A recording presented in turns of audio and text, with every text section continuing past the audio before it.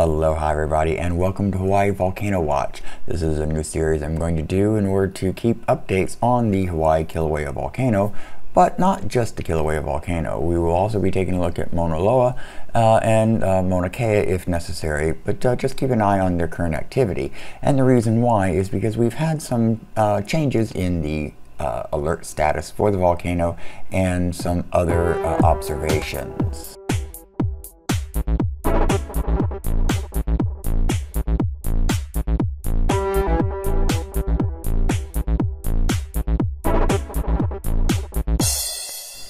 Tonight's Volcano Watch report, we will be looking at the Kilauea volcano. It is the one that's had the current activity level change and some other interesting observations and information has been released. The USGS and Hawaii Volcano Observatory reports for Tuesday, March 26, 2019 at 4:29 p.m. Hawaii Standard Time. The Kilauea volcano alert level has been changed to normal. Previous uh, status level was advisory or yellow condition. It has been changed to normal green condition, and the current aviation color code has also been reduced to green. Activity summary reports the Kilauea volcano is not erupting. Monitoring data over the past eight months have shown relatively low rates of seismicity, deformation, and gas emissions at the summit and East Rift Zone, including the area of the 2018 eruption. Accordingly, today the Hawaii Volcano Observatory lowered the volcano alert level for ground-based hazards from advisory to normal, or yellow to green. This means the volcano is at a non-eruptive background state. The aviation color code was also lowered from yellow to green. Despite this change, Kilauea remains a active volcano, and it will erupt again, although we expect clear signs prior to a return to eruption. The time frame of warning may be short. Island of Hawaii residents should be familiar with long-term hazard map for Kilauea volcano and how to stay informed about Kilauea activity observations, this past week saw no significant change in monitoring data or volcanic activity. Low rates of seismicity continue across the volcano, with earthquakes occurring primarily in the summit and south flank regions. GPS stations and tilt meters continue to show motions consistent with refilling of the deep East Rift Zone magma reservoir sulfur dioxide emission rates from the summit and from Pu'u'o'o remain low. These rates have been steady over the past several weeks. A GPS station on the north flank of Pu'u'o'o has been showing steady slumping of the crater's edge. This motion is not directly related to magmatic activity, but is interpreted to be sliding of the unstable edge of the Pu'u'o'o cone. Small collapses at Pu'u'o'o have occurred since the eruption due to instability. Hazards remain in the lower East Rift Zone eruption area and at the Kilauea summit. Residents and visitors near the 2018 fissures, lava flows, and summit collapse area should heed Hawaii County Civil Defense and National Park warnings. Hawaii County Civil Defense advises that lava flows and features created by the 2018 eruption are primarily on private property and persons are asked to be respectful and not enter or park on private property. The Hawaii Volcano Observatory continues to closely monitor Kilauea's seismicity, deformation, and gas emissions for any sign of increased activity. HVO maintains visual surveillance of the volcano with web cameras and occasional field visits. HVO will continue to issue a weekly update every Tuesday until further notice, and we will issue additional messages as warranted by changing activity. And that'll do it for the summary report. Now we're going to move over to the actual volcanic activity notice, which includes some expanded information and details. This activity notice was issued by the HVO USGS for the Kilauea volcano on Tuesday, March 26, 2019 at 3.07 p.m. Hawaii Standard Time. The source is the Hawaii Volcano Observatory. The volcanic activity summary is as follows. Kilauea volcano is quiet. Monitoring data over the past eight months have shown relatively low rates of seismicity, deformation, and gas emissions at the summit and East Rift Zone, including the area of the 2018 eruption. Accordingly, the Hawaiian Volcano Observatory is lowering the volcano alert level from ground or for ground-based hazards from advisory to normal. This means the volcano is at a non-eruptive background state. The aviation color code is also being lowered from yellow to green. Despite this change, some hazardous conditions remain and are described below. Kilauea remains an active volcano and it will erupt again, although we expect clear signs prior to a return to eruption. The time frame of warning may be short, and Island of Hawaii residents should be familiar with the long-term hazard map for Kilauea volcano and how to stay informed about Kilauea activity. The following is a list of recent observations.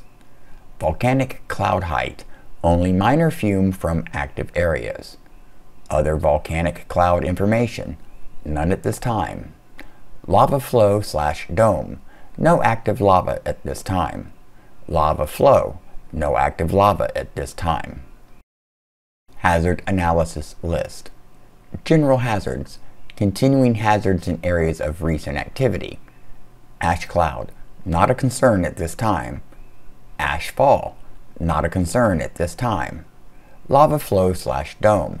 No active lava at this time. Other hazards. Low levels of degassing, hot, steaming ground cracks, rugged, unstable new lava surfaces. Volcanic gas. SO2 emission rates less than 100 tons per day for the entire volcano. Lava flow. No active lava at this time. Remarks on the current state of the volcano is as follows. Kilauea volcano has maintained a low level of non-eruptive unrest since the end of the lower east rift zone eruption and summit collapse in early September 2018. The past nearly eight months without active lava at the surface of the volcano marks the longest time interval without eruptions since the 17-month period between November 1979 and April 1982. The total combined sulfur dioxide, SO2, emission rate from the summit, Pu'u'o'o, and the lower east rift zone fissure vents is currently less than 100 tons per day, well below pre-2018 levels. Seismicity remains relatively low and steady across the volcano, although weekly earthquake counts are elevated above pre-2018 eruption levels, they do not reflect shallowing of magma that typically occurs prior to eruption outbreaks. Most of these earthquakes are aftershocks of the May 4, 2018 magnitude 6.9 Kalapana earthquake, and they will continue at declining rates. Earthquakes such as the March 13, 2019 magnitude 5.5 South Flank event reflect ongoing South Flank instability and are not a sign of renewed eruption potential. Ground deformation continues, but at rates below those during the period of major eruptive activity in 2018. Deformation rates on the East Rift Zone and at the Kilauea Summit are still higher than they were prior to April 2018, but have been slowly decreasing. The Middle East Rift Zone between Pu'u'o'o and Highway 130 continues to show ground motion that likely reflects slow refilling of the deep rift zone, deformation rates may remain high as magma entering Kilauea system is stored rather than erupted. Motion on Kilauea's south flank is higher than before May's magnitude 6.9 earthquake. This motion is consistent with increased sliding of Kilauea's décollement fault in a process process called afterslip, which is expected following a large earthquake. Moving on, what is next at Kilauea Volcano?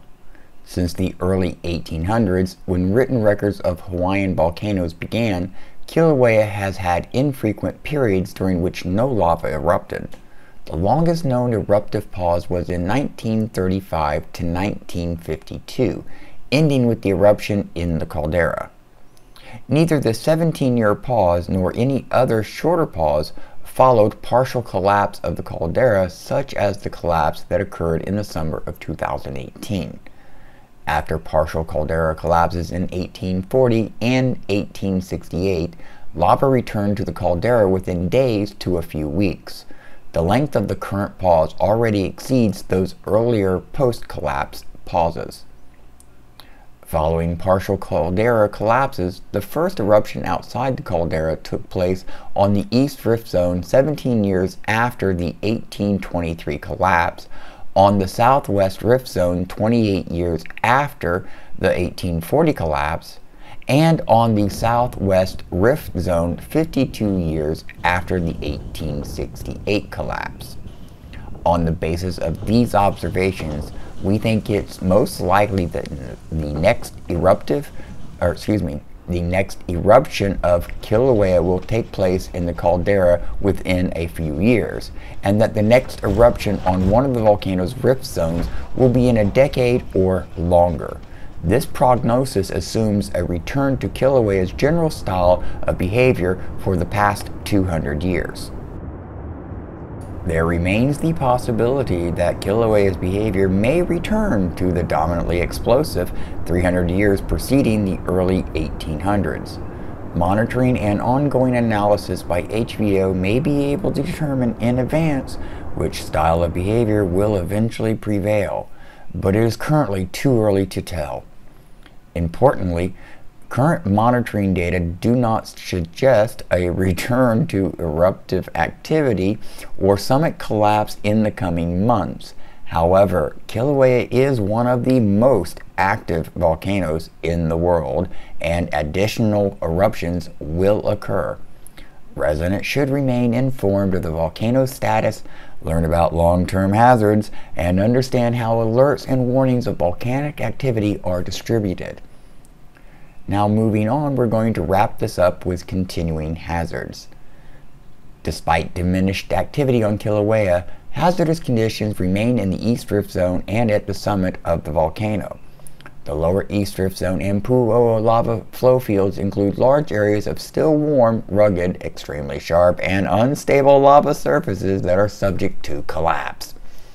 During heavy rain, whiteout conditions from steam produced by rainwater interacting with hot rock could develop on the lava flows leading to dangerous conditions.